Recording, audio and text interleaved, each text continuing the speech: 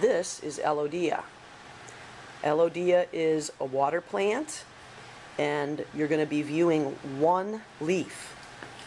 So uh, you're going to take your piece of your, your plant and pluck off one leaf. One little tiny leaf. That's all you need. And you're going to put that on a clean, dry slide. Just dab it on there. It may not want to go.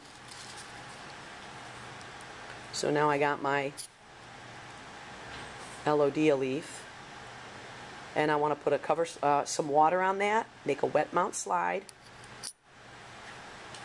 and some water. Let's see what a background does for us. A little white background. I don't know if that's better. I want to take my water, put a couple of drops on there. And a cover slip. Do my 45 degree angle technique. Gently drop it down. And now your slide is ready to be viewed. So this is so thin you're going to be able to see through it and you are going to see under the microscope a wall of green.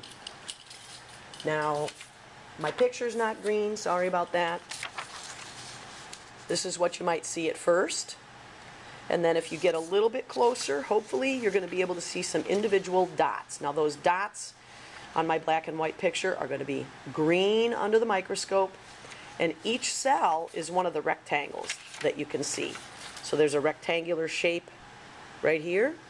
This brick is one cell, one cell, and the little dots inside of it, which will be green, are the chloroplasts. And that's all you're going to be able to see. You're not going to be able to see the nucleus, um, but you will be able to see the chloroplasts. And maybe you'll even see them moving.